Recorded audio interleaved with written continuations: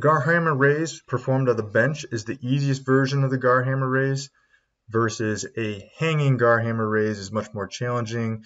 This exercise generally can't be performed for as many reps, so if we're trying to start a beginner or if we're trying to do a higher number of reps, we'll choose the version on a bench. Set the bench up at an incline, bring your knees towards your chest, and then push your feet out away from the body to extend the body fully.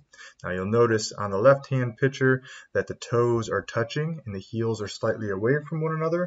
We want this positioning as this gives you the highest probability of reducing any sort of clicking sensation if you do have that in your hip.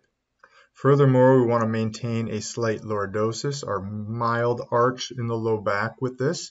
We don't want to aggressively crunch down as if you're doing a sit-up. You don't want to flatten your back out against the bench. We want to maintain a nice small amount of natural normal lordosis while you feel your abs with this exercise. You should not feel your low back with this exercise. If you feel your low back with this activity, you're progressing too quickly through too large of a range of motion, too many reps, or perhaps this just isn't the right exercise for you at this moment in time. Now, if you don't have an inclined bench available to you, what you can do is perform this exercise on the ground. On the ground is a little bit more challenging, especially as the feet get out away from the body.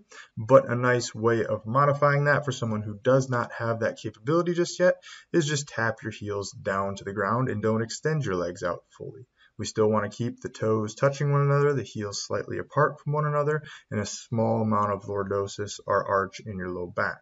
Perform for desired number of reps. Again, making sure that during this exercise you only feel in your abs and hip flexors, you do not feel it in your low back.